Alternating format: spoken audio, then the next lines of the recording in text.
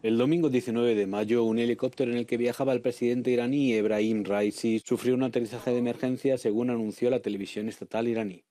Con Raisi viajaban el ministro iraní de Asuntos Exteriores, el gobernador de la provincia iraní de Azerbaiyán Oriental y otros funcionarios.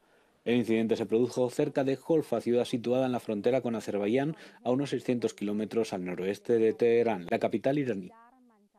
La meteorología está complicando la llegada de los equipos de emergencia y, de momento, no se conoce el estado de Reisi.